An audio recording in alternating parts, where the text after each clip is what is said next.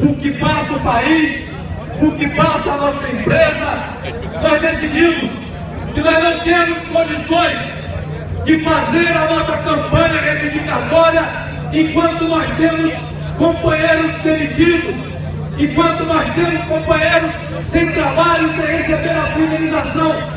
Por isso nós entregamos a Petrobras uma pauta política pelo Brasil.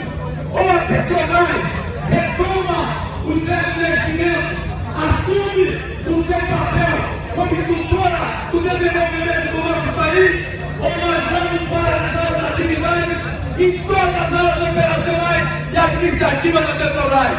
Não temos condições de ficar discutindo mais 1%, 2% de reajuste dos nossos salários, enquanto a gente vê mais de, mil, mais de 20 mil trabalhadores metalúrgicos demitidos.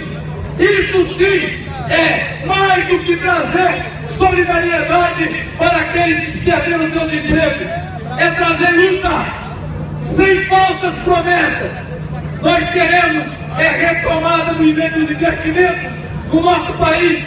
Nós queremos é que, ora, é direito do trabalhador demitido receber a indenização, é direito, mas mais do que isso, nós queremos a volta da dignidade de vocês, porque o trabalhador só tem dignidade quando ele tem o seu emprego, quando ele pode levar o alimento para sua família.